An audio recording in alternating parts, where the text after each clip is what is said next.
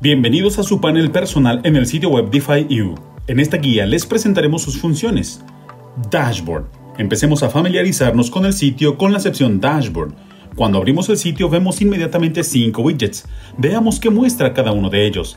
My Split Status contiene dos widgets. Available Split muestra cuántos tokens Split están actualmente disponibles para su retiro. Total Payout Split, cuántos tokens Split ya se han retirado.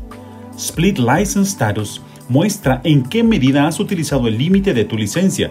Puedes aumentar tu licencia y elevar el límite en cualquier momento haciendo clic en el botón Increase License. Split License Usage contiene varios indicadores en su interior.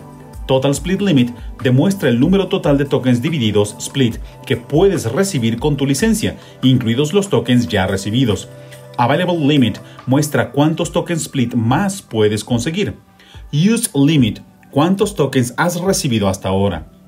Global Split Status muestra cuántos tokens split hay actualmente en el mercado. Reward per Split muestra cuántos últimas recibirás por el holding de un token split en el momento actual. Current Halving Period muestra cuántos tokens última entran actualmente en el mercado cada día. En la sección Next Halving se encuentra la información sobre cuántos bloques faltan para el próximo halving. Si te desplazas por la página hacia abajo verás un widget con las reglas del proceso de halving. Halving Rules. Como recordatorio, el número de tokens última lanzados al mercado por día disminuye cada 10 millones de bloques. En 2028 habrá un token última diario disponible en el mercado. Por eso tiene sentido adquirir una licencia lo antes posible y empezar a recibir tokens última cada día en tu monedero. A continuación verás las licencias y contratos Split disponibles para su compra. En la pestaña Legendary Promo verás las licencias disponibles dentro de la Legendary Promo, una oferta especial al inicio de la venta. Al comprar estas licencias obtendrás cuatro veces el límite de contratos Split y cuatro veces más tokens Ultima. My Licenses. Vamos a la siguiente sección del menú, My Licenses. En esta página, en la sección License Keys, encontrarás una lista de las licencias adquiridas y podrás activarlas. Y en la pestaña Activation History encontrarás información sobre las claves de activación ya utilizadas.